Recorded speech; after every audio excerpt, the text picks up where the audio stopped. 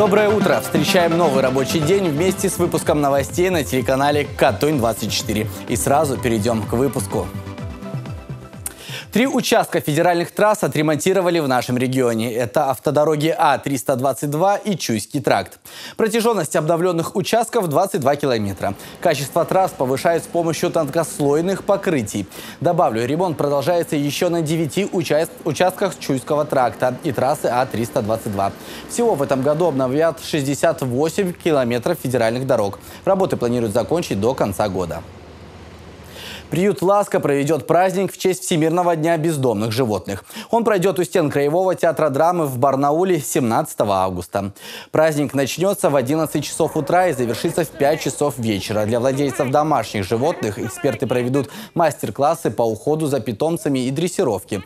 Также до 6 часов вечера будут работать пункты сбора помощи. По словам организаторов, главная задача праздника – объяснить людям, что такое культура содержания домашних животных.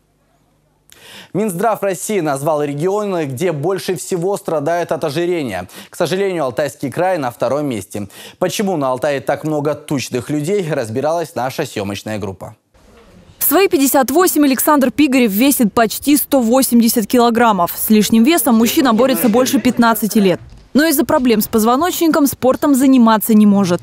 Очень тяжело таскать с собой еще один мешок сахара вот, на себе.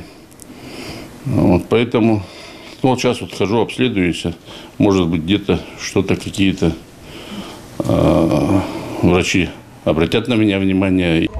Проблемы с весом были и у Надежды Гениеман. Всему виной несчастная любовь. Два года назад она весила около центнера, потом решила сесть на диету. За 11 месяцев соблюдения строгих правил в питании Надежда похудела на 50 килограммов. Мне знакомые говорят, что а, от прежней Нади у меня остались только глаза и даже вроде бы голос поменялся. Некоторые меня узнают, некоторые сейчас не узнают. Мне это приятно. Это очень большие изменения в моей жизни. За прошлый год в Алтайском крае зарегистрировано 120 тысяч человек, страдающих от ожирения. Причина простая. Мы получаем из еды больше энергии, чем расходуем. Каши, цельнозерновому хлебу, еде с полезными медленными углеводами мы предпочитаем мучное и сладкое, в которых содержатся быстрые. По мнению психотерапевта Алексея Дика, такие продукты действуют на наш мозг как наркотик. Поедая торт, в котором не только сахар, но а также всякие химические, ароматические аддиктивы, он что, гиперстимулирует свой пищевой центр, такая сказать, эйфоризация наступает, такое забвение наступает от каких-то стрессов, от каких-то факторов напряжения, ну точно как при алкоголе.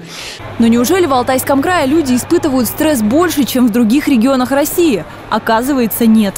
Алтайский край вышел на второе место только потому, что мы очень много лет а, пытались регистрировать ожирение как заболевание. Просто в других регионах меньше регистрируется, не обращается внимания. Это проблема регистрации.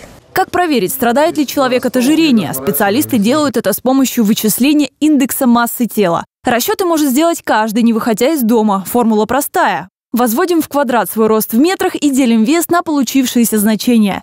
Результат вы можете сверить с таблицей, которую видите на экране. Анастасия Борисова, Мария Лобастова, Алексей Шаульский, Михаил Лифуншан. Новости. На этом у меня все, а я передаю слово Елене Хорошавцевой в студию утреннего канала.